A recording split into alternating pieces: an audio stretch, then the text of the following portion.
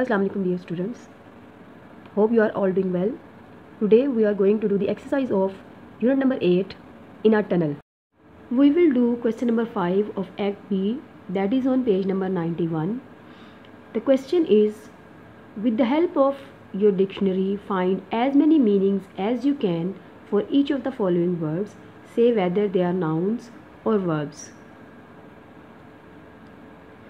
The words given are wing, sight, pound, foot, match and race. So first of all we have to find out the meanings of these words and then we have to describe whether the, these words are noun or verbs. So the first word is wing.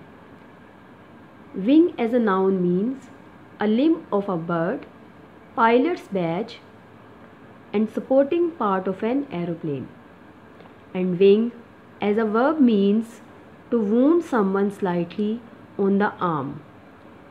For example, the soldier was winged by a stray bullet.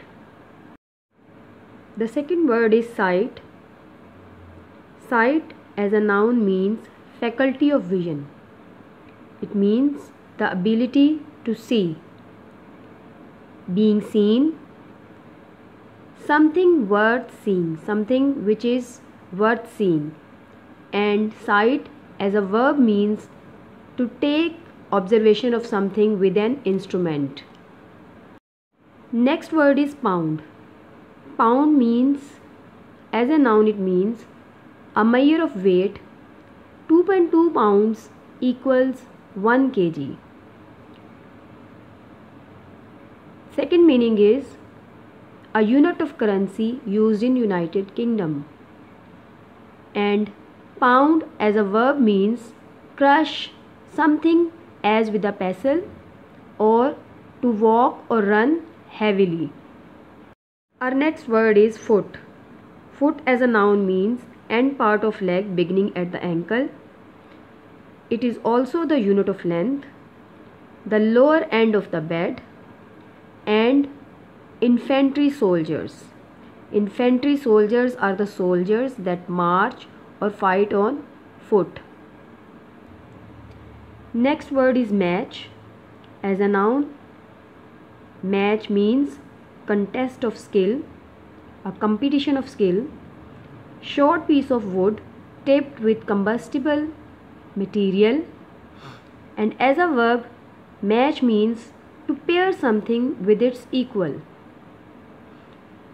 Our last word is race.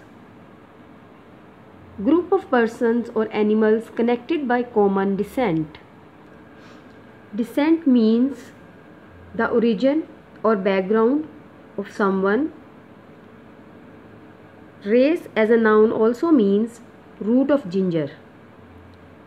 And race as a verb means to compete in speed with someone. That is all for today.